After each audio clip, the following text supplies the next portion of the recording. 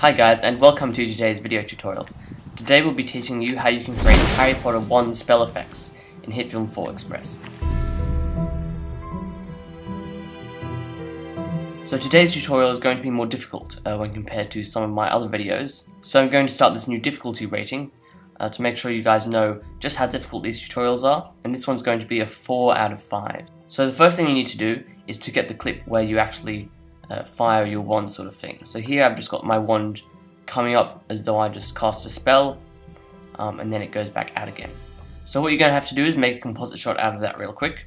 So today we're going to be needing two things. First of all you're going to need some sort of fire effect like this. This is just a ground fire. I'm not quite too sure what pack I got this from, uh, but it's really nice. It's a 4K 60p uh, transparent uh, file which looks really really nice and I'm going to use it for today's effect. Another asset I've got is from Detonation Films, and it's just this fireball, um, which shoots out like that, and we're going to use both of these effects today. But before we add any of these effects into our composite shot, we need to track the movement of the wand, because that's what these effects are going to be uh, stuck onto. So I'm going to use the full stop and the comma keys in my composite shot. Actually, I'm just going to switch back to the uh, compositing workspace real quick. I'm just going to do it until we, we are able to see the, uh, the wand in here. And what I'm going to do is I'm going to create a new layer. I'm going to create a point layer. Now you can motion track this using the 2D motion tracker, uh, but it's pretty hard to track since it's so small, it's not very contrasty, and moves around a ton. So we're just going to do it manually. All we have to do is go into our transform, we're going to keyframe the position, and we're going to make it move around uh, with the wand as it moves around. Right, so I've tracked the majority of this, um, and you don't really need to track that much because it's going to be quite a quick single burst that we're going to do. So I'm just going to go back to the frame I want the actual effect to start, so it's this frame right here. So the first thing I'm going to do is I'm going to go back into the editing workspace so that I can import my assets. Um, the reason I'm just going back into the editing workspace is because you've got the trimmer here, um, and it's already been trimmed for us. So I'm just going to import it in right like so, um, and it's now in time, so it appears right here. I'm just going to rename this layer the wand so we know what it is. And I'm just going to now adjust the position of this. I'm going to scale it down. I'm going to adjust the anchor points so that if we need to change the rotation and stuff later it'll rotate around the very edge like so. And we're just going to position it and scale it into place. So I'm going to position it like so what I can do now is I can set the ground fire layer to be the child of the wand layer. So now wherever the wand point moves, uh, then this ground fire layer moves as well. Now I'm going to add in my second asset, uh, which is going to be that, that fireball against black. So I'm just going to play it back. I'm going to set my in point to be the frame where it shoots out like so. And I'm going to have it end at the very end. I'm just going to drop that in the timeline as well. I'm going to move that above the actual fireball. Um, and what I can do, I'm just going to move this here, I'm going to, again, position this so that it's in the right place. Also, because this has a black background, I'm going to set the layer, in the layer properties, I'm going to set the blender mode to be screen or add so that uh, it gets rid of the white background. Now also this fireball layer is actually quite slow, so I'm just going to uh, go right click and I'm going to set its speed duration. Uh, I'm going to set its speed to be 400% so that it moves along much faster. And again, I'm going to parent it uh, to this wand layer so that it moves around. Now the last asset is actually not going to be an asset that we're going to import from somewhere else. We can create it inside of HitFilm. So create a new uh, black plane layer and I'm going to name this flare because that's what we're creating. We're going to be creating a lens flare. So search up for your light flares effect and drag it onto that plane and once you've done that, you can mess around with all the different flares. So I'm just going to go with 35mm prime. And what you're going to go and have to do is go into your hotspot position, select the center to be 0, 0, and then parent it to the wand layer. So now wherever the wand layer is, the flare will move around with the center of that wand as well, and it will look really nice. I'm going to set uh, the blend mode to be something like add or screen, I'm going to then shorten it so that it only starts where everything else starts, like so. And I'm going to mess around with these until I find the right intensity and scale. Um, but now we're going to go and do some compositing tweaks because this doesn't quite look uh, so great. So I'm going to start off with the fireball layer because I don't think there's actually all that much compositing that needs to be done. All we have to do is select this layer, I'm just going to position it a bit better maybe, and search up for your blur effect because this has an edge right here um, and we want to get rid of that by blurring it out. So what we're going to do is we're just going to blur it up a bit, make sure you untick clamp to edge, and that way it'll become this nice, uh, sort of like a fireball, but it'll also look sort of smoky as well, uh, which is sort of the effect we're going for anyway, like so. Um, and now you can't see the edge either, so it looks pretty good. The next thing we're going to do uh, is we're going to do the flare. So what I'm actually going to do here with the, with the flares, I'm going to animate it so that at the very beginning, it's going to be a really bright flare and then it's going to sort of fade away as the effect sort of dies down. So keep in mind that I've actually shot this at 60 frames per second.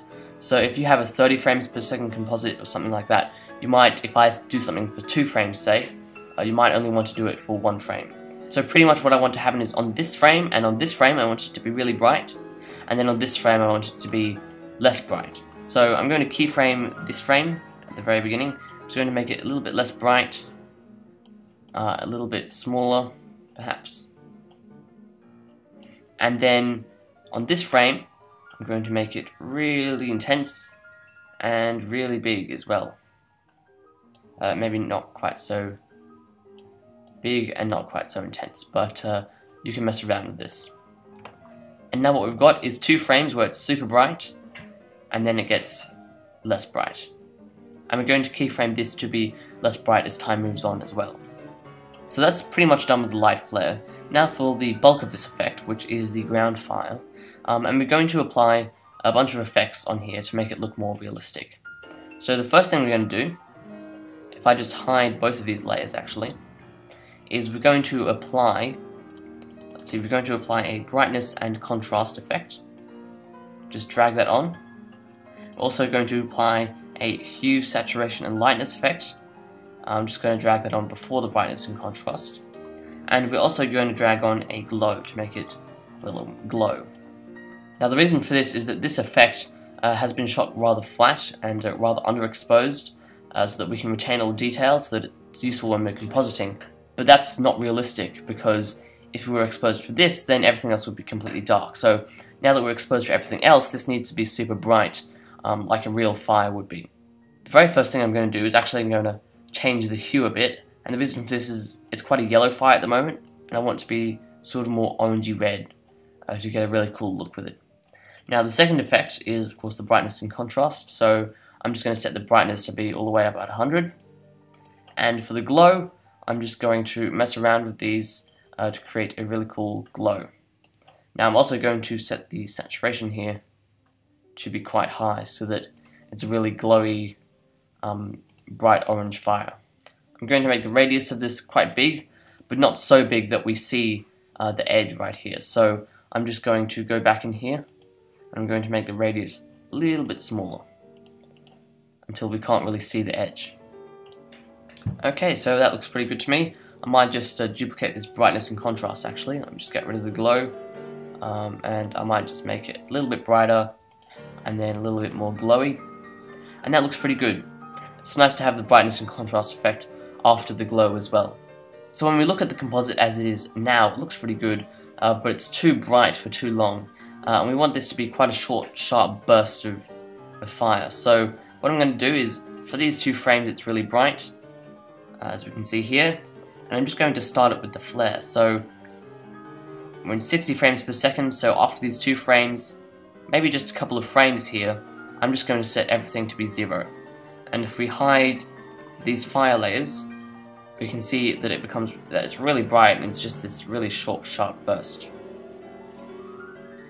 Now we're going to move over onto our uh, ground fire, and this is where we're going to animate all of these effects that we just applied. So if we just zoom in here, we can see at this frame, this is the frame where these frames are really bright, and this is the frame where the flare gets darker. So we're going to keyframe all of these properties uh, accordingly. So we don't have to really keyframe anything in this hue, saturation, and lightness effect. Uh, but what we are going to do is we are going to keyframe the brightness. So I'm just going to keyframe the brightness there, keyframe the brightness there, and also keyframe the intensity of the glow. Um, and then that's all going to be pretty bright. The next frame in, we're going to make it not quite so bright.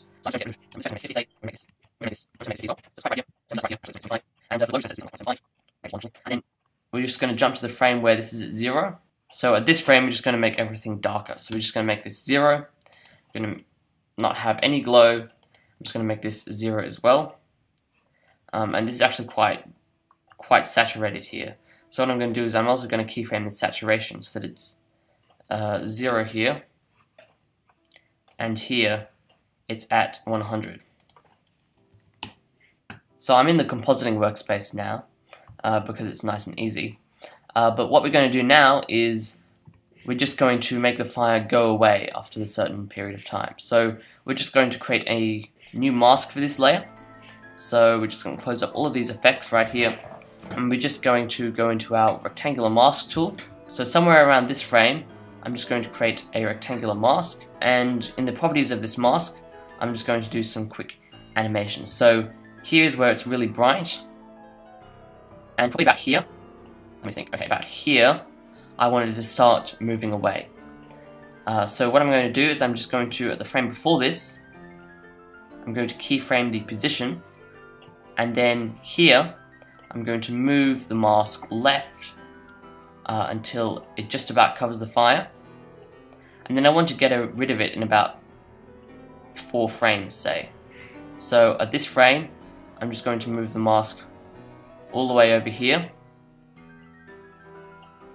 And just for good measure, because we are maybe feathering it and stuff later on, the frame after that I'm just going to move it all the way over here so that it's not really visible at all. So as we can see here, uh, if we go back into our scale to fit, uh, we can see that the fire goes away like so.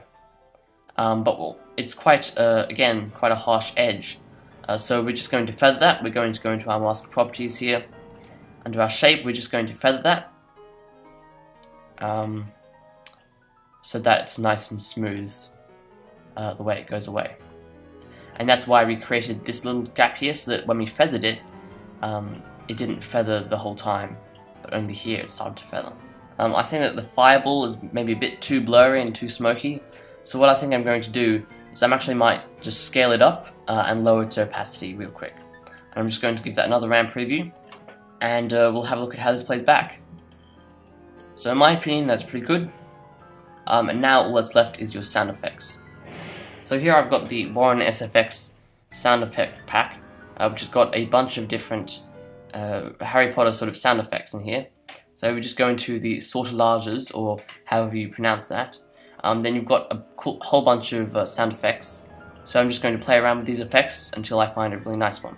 So one tip when you're editing audio is actually do this in the editor because you can see the waveform uh, of the audio. So I'm just going to drag it in and we can see uh, the actual spike where the actual thing should go. Wow, that was good timing. Um, so we're just going to play this back. It's a bit laggy, but uh, it'll do. And as a final addition, after you've done all of your visual and your sound effects, we're just going to add a grade after we've done all of our effects. And that way it'll blend everything together really nicely and make it all feel as though it's in the same world. So that's it guys, I've added my sound effect and I've added my final grade, uh, which hopefully ties in all of these effects together. Um, and that's pretty much your final effect. So I hope this was helpful to you guys. I wish you good luck on your next Harry Potter spell effect, and I will see you guys in the next video. Stay shiny. Bye.